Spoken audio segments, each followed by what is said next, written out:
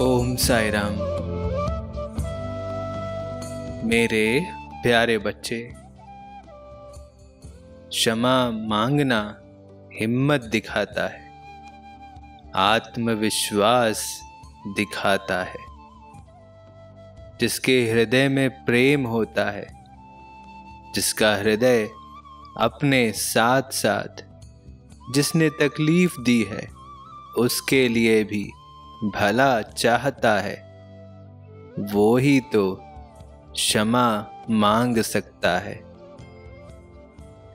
सकारात्मक ऊर्जा उस कड़ी की तरह होती है, जो दूसरी वैसी ही कड़ी के साथ जुड़ती जाती है, और देखते ही देखते दुनिया बदल जाती है।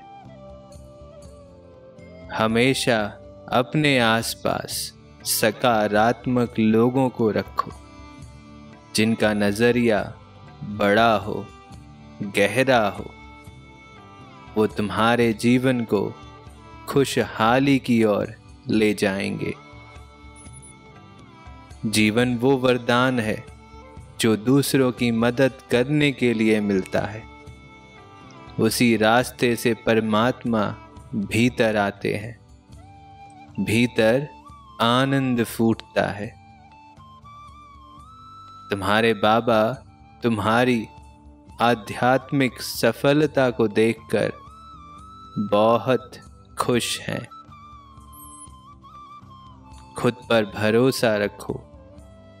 जितना प्रभाव तुम्हारे शब्द तुम्हारे ऊपर डालते हैं, किसी और के शब्द उतना असर नहीं कर सकते।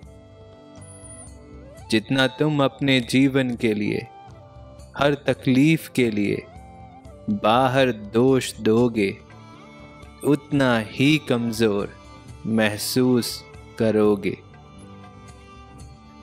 उस मसले को, उससे जुड़े लोगों को मेरे हवाले कर दो।